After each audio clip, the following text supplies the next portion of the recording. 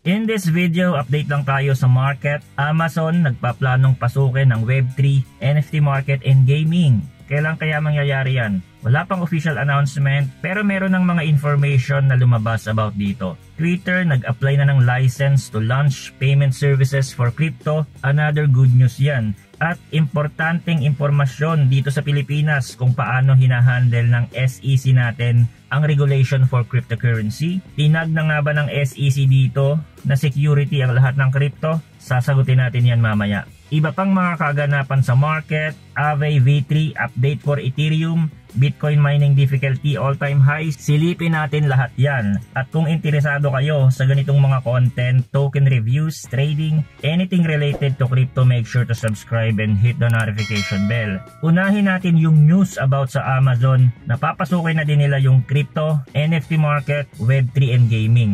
Actually, matagal na sila nagpaparamdam na meron silang plano. The world's largest retail is planning to launch a digital assets enterprise focused on non-fungible tokens and Web3 gaming this spring. Nasa early stage of development na daw ito at inaasahan na magkakaroon ng official announcement in April. So malalaman lang ito ng mga non-crypto people sa April pero tayo na laging nakatutok sa news we are ahead of the game. Maraming partners na naka-line up including Layer 1 Blockchain, blockchain-based gaming startups, and developers and digital asset exchange. Na-cover natin dito sa channel yung partnership ng Amazon sa Avalanche. Kung natatandaan nyo, kaya din nagrally yung price ni Avalanche noon. Since 2021 pa sila nagha-hired ng mga developers and engineers for Web3 development, kaya naman most people in the crypto industry already expecting it. At noong April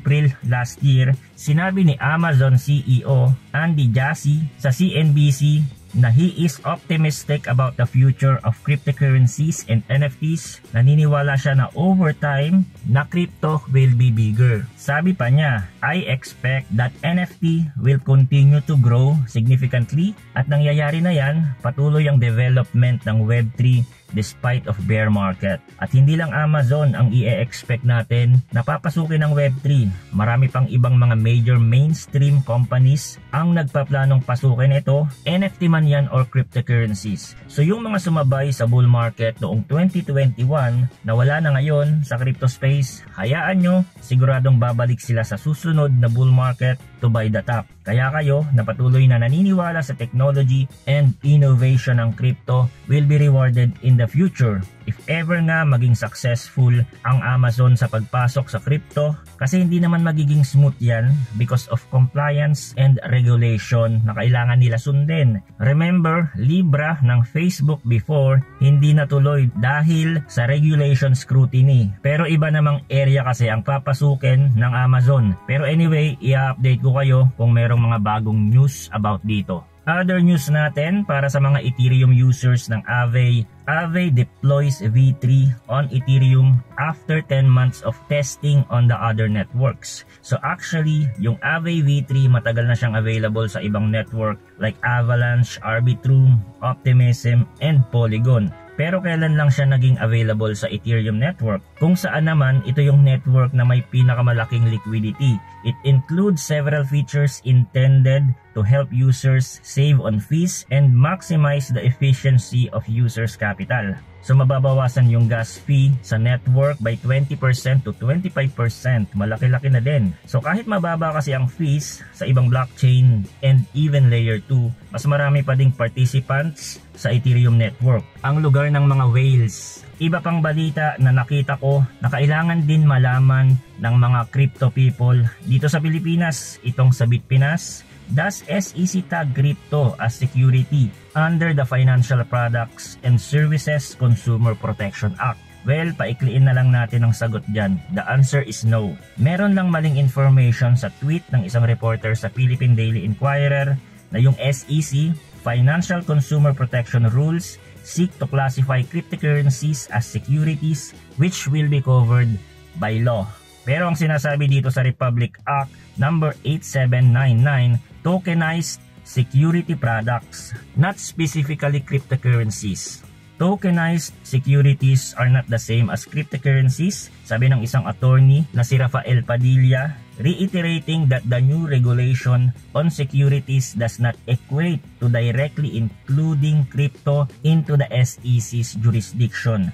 This excerpt doesn't say anything about crypto being classified as security. So hindi totoo na kinaklasify ng SEC dito sa Pilipinas na security lahat ng crypto. Sa ibang bansa nga, wala pang batas na nagsasabi na ang kabuoang cryptocurrency ay maituturing na securities. There are some candidates but not all. So pinag-aaralan pa din yan ngayon, cryptocurrencies can be categorized as securities and commodities. Anyway, may lumabas na balita na ang Twitter nag-apply na ng license to launch payment services that may eventually include Bitcoin and crypto. Galing ang balita sa Financial Times. So another good news if mangyayari yan. Pero what crypto? We don't know yet. Kasama kaya dyan si Doge? Alam naman natin na favorite crypto yon ni Elon Musk. Pero napabalita rin noong nakaraan na nagde-develop itong Twitter ng sarili nilang coin with Stripe payments for monetization ng social media platform yon at hindi siya literally a cryptocurrency.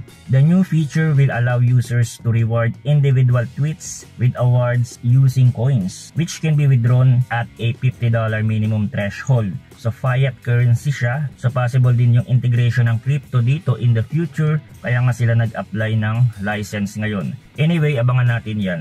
Bitcoin mining difficulty hits a new all-time high. So i-explain ko muna ng konti yung Bitcoin mining difficulty kasi marami ding newbie dito na nanonood sa channel. Bitcoin mining difficulty, ito yung sumusukat kung gaano kahirap makipag-compete para makuha yung Bitcoin rewards. Kasi kapag nagmamine tayo ng Bitcoin, let's say we are a Bitcoin miner, merong competition na nagaganap between us and other miner para sa rewards. Ngayon, habang dumadami ang Bitcoin miner sa network, mas nagiging mahirap mag-mine ng Bitcoin kasi automatic siya nag adjust yung mining difficulty to be fair for everyone. Tumutulong din ito para mapanatiling secure secure ang network. Sa news natin dito, Bitcoin mining difficulty has hit a new all-time high. Most of the people nakikita ito na positive for Bitcoin kasi mas nagiging secure ang network kapag mataas ang difficulty. However, meron din siyang drawbacks dahil nga mas humihirap ang pagmamine sa Bitcoin, kailangan mag-adjust ng ibang mga Bitcoin mining industry para makasabay. A larger mining difficulty means more advanced machinery, more computers, and more power might be needed to produce the same amount of Bitcoin. Merong good and bad side effect yon. Speaking of Bitcoin, i-check natin yung Bitcoin daily chart. Meron siyang malaking red daily candle dito. Naabot niya yung 24,000 price level. Hindi siya nakalagpas at doon nagsimula yung selling pressure. Sabi nila it's because of anticipation sa Fed rates na ine-expect ng mga traders na Fed will raise the interest rates by 25 basis points. Sabi ng ibang analyst, possible pa din ang 50 basis points. The higher basis points, the more likely that the price will drop even further. So we have to pay attention sa mga ganitong news. Inaabangan yan ng mga traders all over the world because it could change the sentiment of the market easily. Kung magbabase tayo sa chart alone, long red candle, it's a representation na malakas na yung selling pressure sa area. Even though hindi ganun kalaki yung volume nito, wala naman kasing panic sell dyan. It's just a normal price action in the crypto space.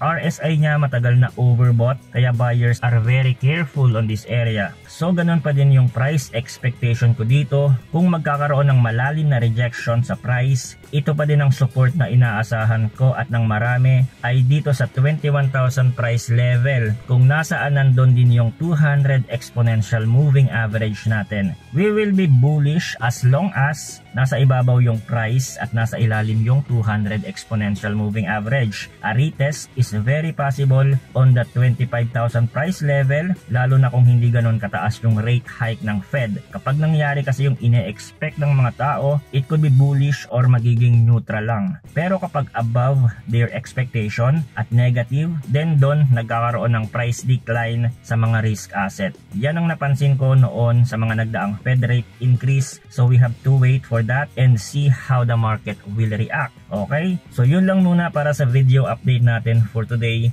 Thanks for watching again. Good luck and see you on the next video.